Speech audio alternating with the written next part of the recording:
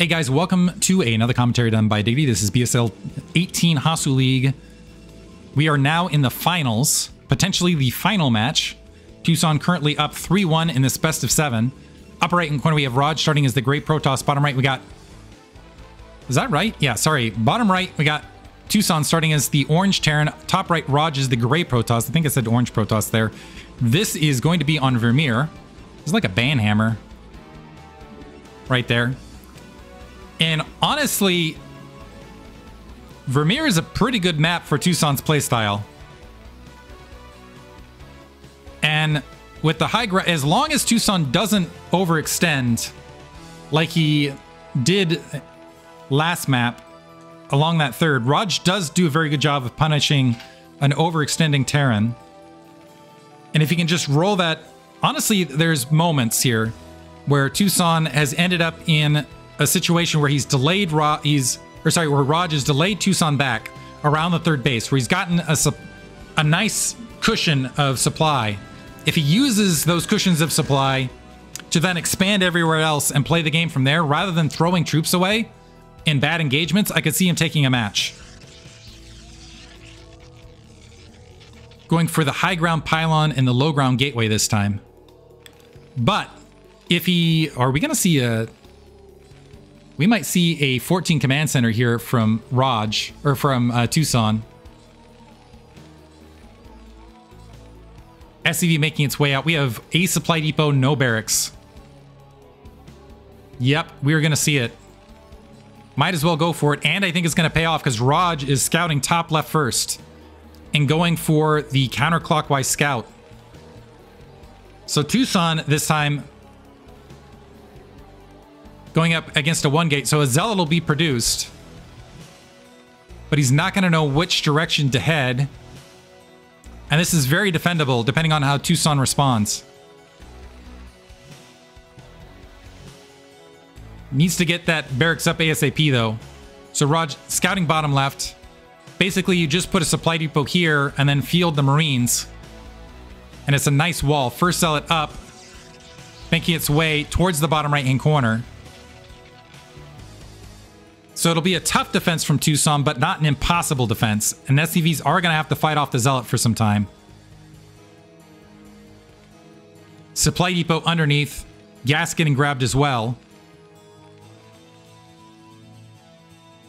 And so now the question is, is okay, Command Center is going to get up. But how many SCV kills can this Zealot and this probe get before that first Marine's out? Trying to get that SCV building the command center and delay it. Several SCV pulling out. Getting a good surround and a good interruption on that Zealot, shredding, shredding some shield. And the probe wiped out as well. So we have one SCV kill thus far. And that Zealot getting completely boxed out. Swarmed even. And the Marine alongside, now we got two Zealots but Marine support, no second Marine queued up. So Tousan feeling strong enough.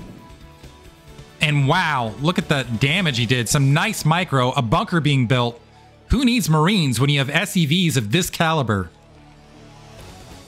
Raj getting completely denied and now has to keep his Zealot alive. Because otherwise he could get counterattacked pretty rapidly. Factory up yet?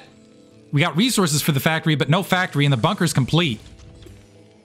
And he might want to... Yeah, he's got to keep the zealots nursed up. So disaster here in the early game for Raj. He's up two workers right this second, but that's not going to last very long.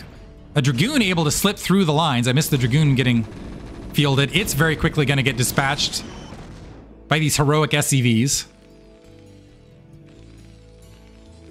So Tousan delayed a bit, but as soon as he starts queuing up SCVs, he's going to surge ahead in that worker count. Nexus is way behind. And Tousan able to scout, I presume he's got a good look at what the worker count's been up to this stage.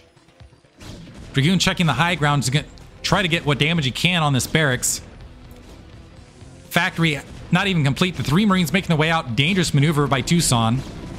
Because the Zealots are along that edge but it looks like it's going to work out for him. trying to trade the Marines around. Not, uh, unfortunately, the Marines running into each other and causing a kill, and that might be some dead zealots. Nice micro from Tousan. So we got a one gate robotic facility follow up now for Raj. The zealots marching their way back. Machine shop on the way, factory up. And Tousan going with the Marines. It looks like he wanted to try to catch a Dragoon that was out in forward field. Another SCV wanting to get some scouting information. This is looking like it might be the final game in Tousan's favor here because massive lead early. Second base up and running. It looks like Raj actually managed to, to hold a three worker count, but lost a lot of troops in the meantime. Siege tank being built. You, you need that, that early economic lead, honestly, for Protoss. Dragoon kind of peeking in and around. And SCV able to confirm that it wasn't a quick third base. Not going to be able to get the additional scouting information along that edge. Just see the Zealots and the Dragoon along that corner and also critically able to check that third. So he knows it's more likely robotics facility play. Range still not finished. The four Marines in the siege tank moving out to catch this Marine, this uh, Dragoon in open field. Siege check just about finished. Plus one weapons already along the way. Rod's doing a really good job of macroing in the midst of this to actually open up a 10 supply lead, which is about where he needs to be. In other scenarios, this would look a lot worse. So Raj actually able to make something out of this, scooping up those two earlier damaged beleaguered zealots. And gonna scoop up a Reaver alongside. It's gonna be two siege tanks to try to defend it. Potentially three by the time they uh, make their way to this map. Second and third factory getting queued up. And Raj to use this Reaver while he goes ahead and grabs that third base.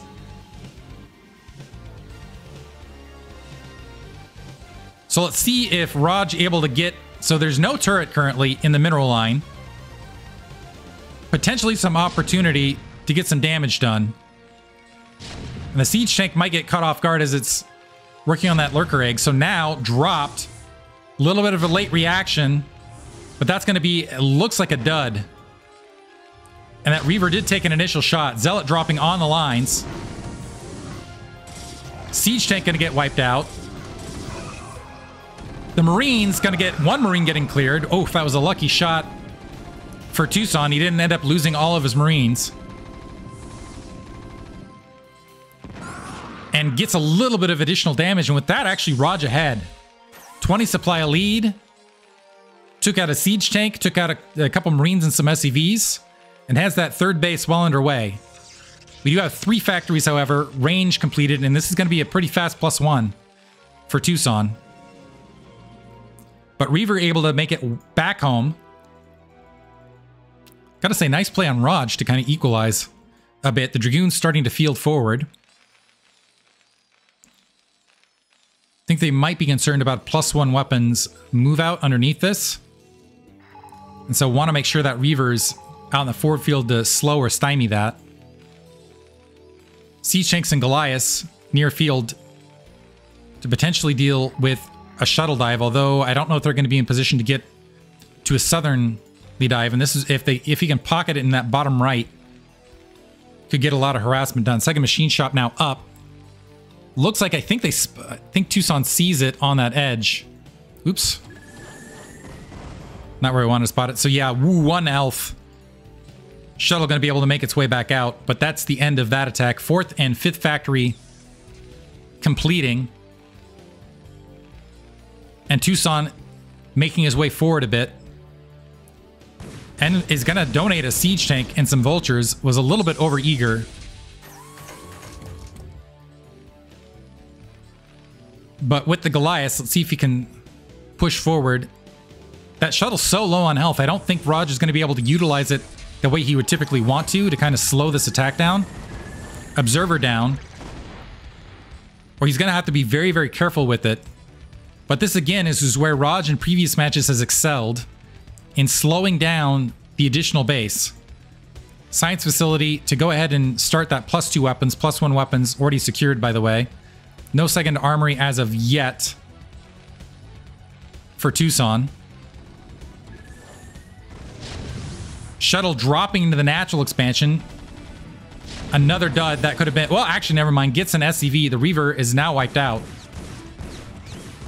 But with that Reaver out of the field, I wonder if Tousan's going to feel a little bit more comfortable starting to move out on the field. We do have a Citadel of Adun up in the meantime. This has been all off of three gateways this entire time. So fourth and a fifth, sorry, four, uh, four gateways. Fifth and a sixth getting plopped down. A couple vultures making their way out in the field now. Supply counts have closed. They've gotten a lot closer.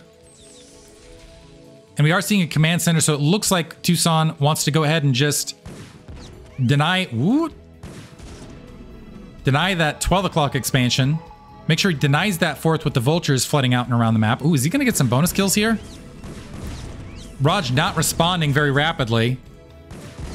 He's got a Reaver, but the vultures honestly can just run away. Yeah, a couple of them getting caught by the Dragoons. And this looks like it's going to be a pretty easy command center grab for Tousan. Supply counts are even, which is very, very bad news for Protoss, particularly when plus one weapons is already finished and plus two is on the way. So it's going to be some form of three base play. Gateway Man is not going to cut it here, but Raj is in fact plopping down some additional gateways. He's not playing with an economic lead here.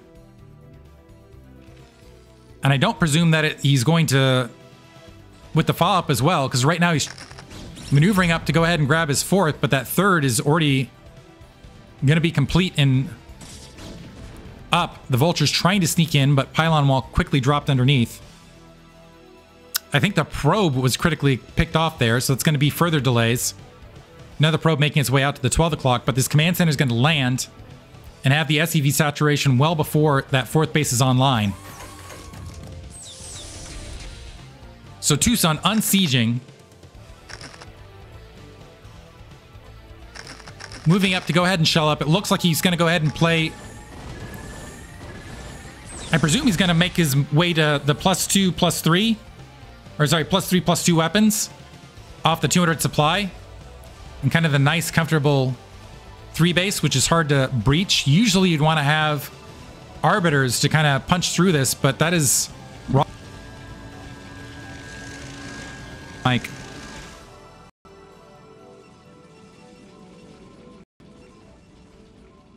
We have a dead Mike commentary, but now we got it back.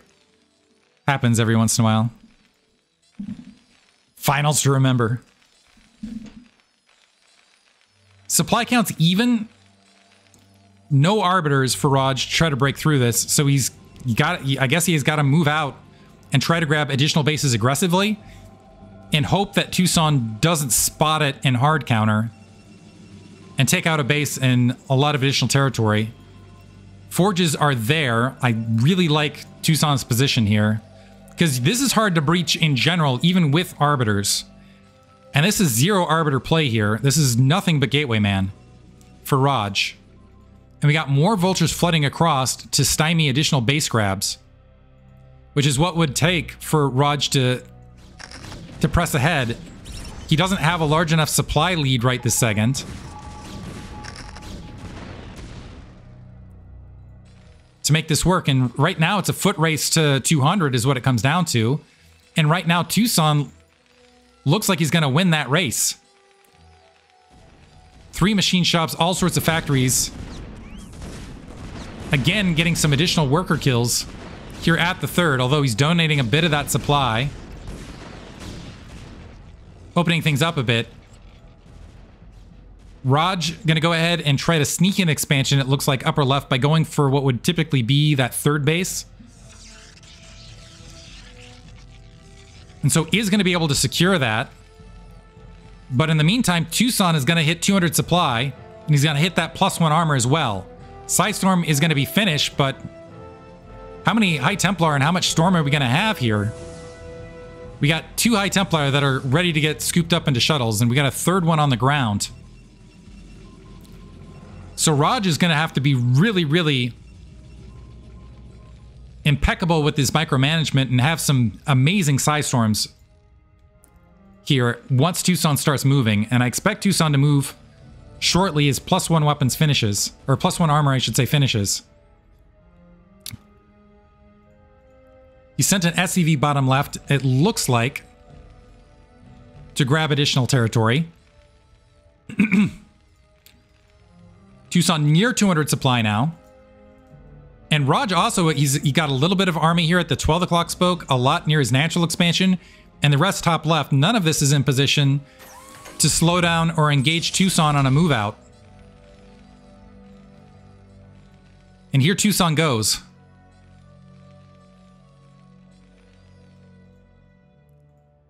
So it looks like, yeah, Raj was able to open up some bases bottom left. Six o'clock base getting grabbed, and it looks like there's going to be a little bit of disruption. Maybe a canceled command center. We're gonna, we do have a Psi Storm drop. Man, did manage to pick off a lot of SCV. So Raj doing something, but he's doing nothing about this. So honestly, canceling the command center is fine here for Tousan. Because I don't think Raj is going to be able to stop this army. Yeah, and I think Tousan recognizing is saying, okay, your army's not in position. Shuttle's empty in between here. SCV just trying to rebuild that for some reason. Raj now moving forward. Some good Psi Storms, though. Some beautiful Psi Storms. Is it going to be enough, though? Siege Tank still holding. The Vulture's coming up to provide some support. It looks like that army is going to get obliterated. And a nice defense. Six o'clock base got cleared out. But now does Raja, is he going to be able to resupply? Vulture streaming across. Able to wipe out top left. They did not spot that base. That's not saturated. So it looks like Raj is still held to four bases versus three, as the six o'clock base and bottom left are now in Tousan's favor. I do want to say some great Psi Storms in that previous engagement from Raj. Nexus canceled last second. And the supply counts are near even. So Raj is going to need to clear this out and re-grab and recognizing those troops are out of position. Tousan moving forward and encroaching on Raj's third. The kind of the problem is, is trying to grab all that stuff top left when you don't have that supply lead equals dead Nexus. And now it's three base versus three base. And the supply lead nearly in Tousan's favor. He's filled in the gap in between. High Templar getting picked off by those vultures. And is going to be able to saturate the 6 o'clock and bottom left. And Tousan can do more of the same. He's flooding more vultures out. Is going to wipe out that base top left. And again, he can just keep resupplying. Two shuttles making their way out. A lot of High Templar. This could equalize things. I don't know if those shuttles got spotted. It looks like it's mostly vultures here. Siege tank on the low ground. Zealot first. The SCV's evacuating. A little bit too much forewarning. And it looks like it's just going to be vultures and siege tanks that are getting Psi-stormed here. The SCV's going to be able to return there. And that is just now Tousan's got a supply lead and an overwhelming economy to work with. More vultures making their way top left, again to stop, to basically perpetuate the situation.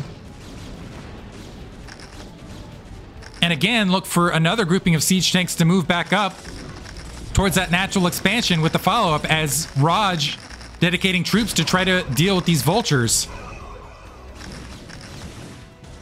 Actually sweeping all the way around. Now all of a sudden it's a situation where Tousan can play factory man and start throwing troops at his opponent, and Raj just doesn't have the economy to keep up. But kudos to him for getting that upper left, and it looks like another Nexus at least building right this second. Some minerals being left behind. Looks like it missed another drop here at the 6 o'clock location. Worker count even.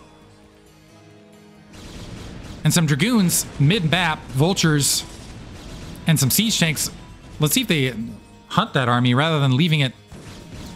Raj actually looking like he wants to try to take out the 6 o'clock base. That's creating a reaction from Raj.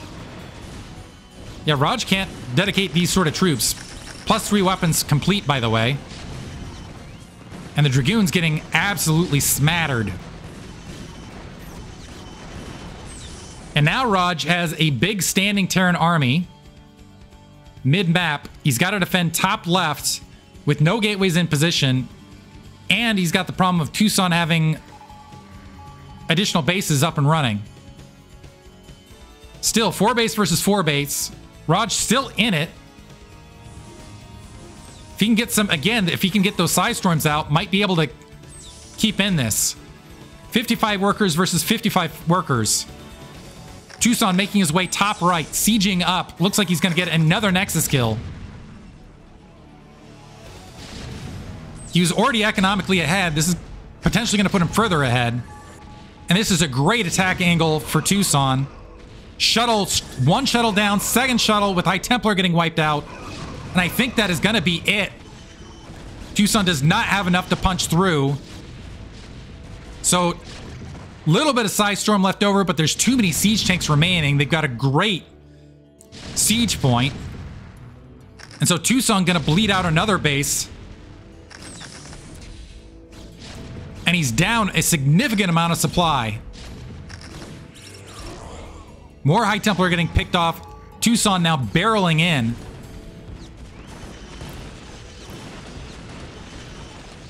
And very nearly has the entire natural expansion enclosed. Workers did somehow manage to make it out for Raj, which is important, but he doesn't have additional gateways out there. There's GG. And our BSL 18 Hasu League champion is Tousan after many, many attempts in many, many, honestly, rounds of four, etc. in BSL. Tousan getting his first BSL championship here. And I believe per rules will advance to Gosu League next season. Hope you guys enjoyed it. Fun season. Thank you for listening.